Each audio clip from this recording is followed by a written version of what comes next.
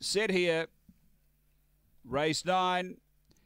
Racing. Phil's Green steps well. The late mail pushes through to lead them up early. Menzies getting through to second, and they were followed then by Spring Spinner up to third, four off the lead. Next is Trademark Style, and out the back, Richie's Vibe. They race to the back, and Phil's Green out by two to Menzies, and then Spring Spinner. Next is Trademark Style and Richie's Vibe. They're down the back. Phil's Green out by three over Menzies. A couple away, Spring Spinner. Uh, then Trademark Style and Richie's Vibe. They race to the turn, and Phil's Green straightens clear over Menzies and Spring Spinner stretching away for a big win here. Phil's Green went on to win it by seven lengths. Menzies second. Uh, third home is Spring Spinner. They were followed by Trademark Style with Richie's Vibe. The run here is around 34 and 90.